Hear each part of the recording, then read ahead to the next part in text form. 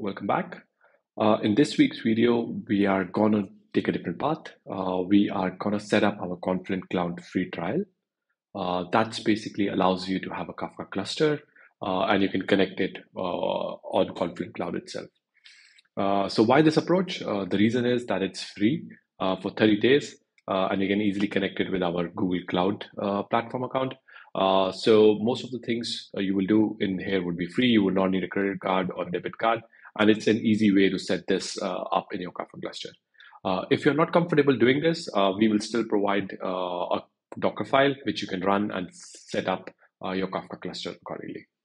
So let's take a look into it. So you will see that for new sign-in, you will get a $400 and a 30 days free trial. I already created an account, so I will just log in. So I'm also doing it for the first time with you guys. So let's see if it works.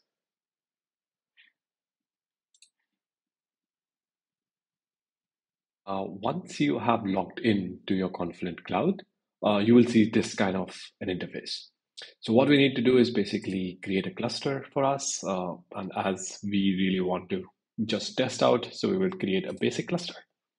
Let's use uh, Google Cloud uh, Frankfurt because we are in the I am in the Berlin area, so Frankfurt would be closest for me. Single zone is fine. Uh, I continue. Uh, there would be uh, enter payment card info, but as we have already $400 uh, in our credit, we are just going to skip this step. Uh, and then we are going to name our cluster. So let's say Kafka tutorial real cluster. Uh, we don't need to do anything here. We just launch this cluster. Might take a second. Uh, and we can see that we already have a cluster. So we can basically go into our dashboard and we can see that there is some uh, matrix, which are basically no data right now because we are not doing anything with it. Uh, we can also check some of the networkings, uh, what kind of ingress we have, uh, and we need an API key. So every single time we do anything with uh, with Confluent Cloud, we will need an API key. So that's what I'm going to do here. I'm going to create one. Uh, and I can now name this one as Kafka cluster uh, tutorial API. Right, it's it's downloaded, perfect. So let's take a look into our cluster settings.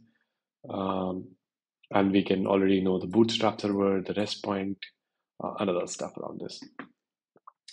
The next thing which we will do is basically create a topic. So we say, okay, uh, let's say a tutorial topic, uh, and we just use partitions as two right now. Uh, we also do some some some advanced setting. We want the cleanup to be done. Uh, the cleanup has to be done and it's delete. Let's just take one day of retention because I don't want to pay a lot and spend the 400 free uh, dollars provided by them. Uh, and then we now have some messages coming in.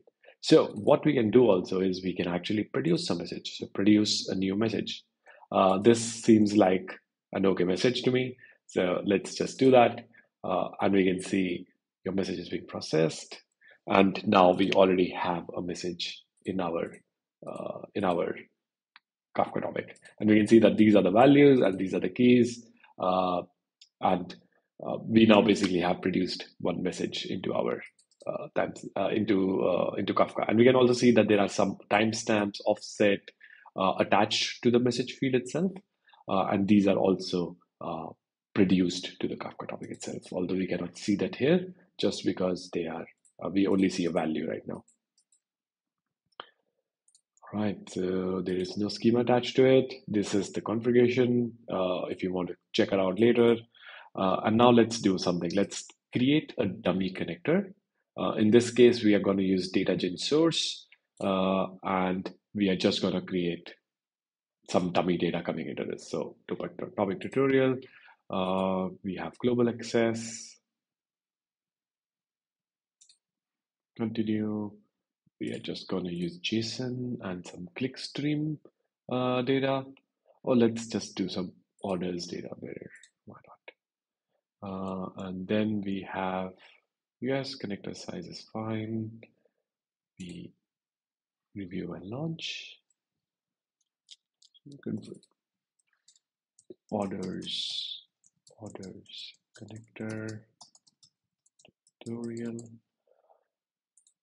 We have our tutorials. Perfect. So continue.